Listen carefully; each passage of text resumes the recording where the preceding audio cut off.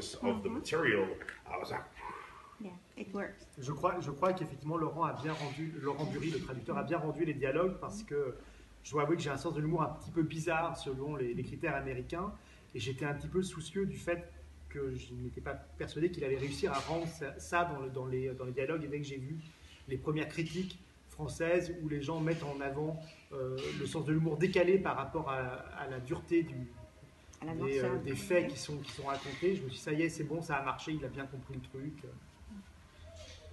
so I owe Laurent a big hug Yeah, when I we- see him. Voilà, donc je lui en dois, euh, je lui dois de, de la gratitude quand, quand je le verrai. ouais. Alors, J'en lis beaucoup pour en publier un.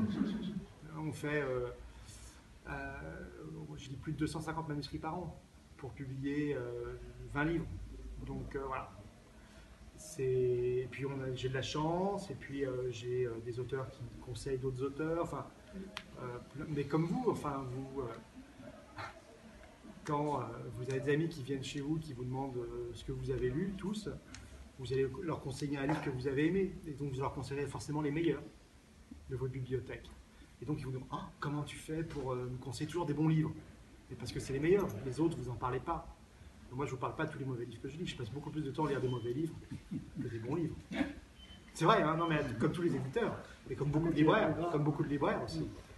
On passe plus de temps à lire des mauvaises choses que des bonnes choses. Et les mauvaises choses, vous allez jusqu'à la fin quand même ou vous les abandonnez? Non. Non, bah, je- moi je me mets à la place d'un lecteur. Ouais. Euh, si euh, on n'accroche pas tout de suite, et j'irai même plus loin, un bon livre, il vous plaît dès la page 1. Tous les, tous les très bons livres, même s'il y a des défauts, même si le livre après est imparfait, euh, il y a plein de livres que j'adore, mais dès la première page, on rentre en, contact avec une écriture, avec quelque chose. Même si le livre n'est pas, parfait, mais on sait qu'on va le publier. Et des mauvais livres, parfois il faut aller un peu plus loin.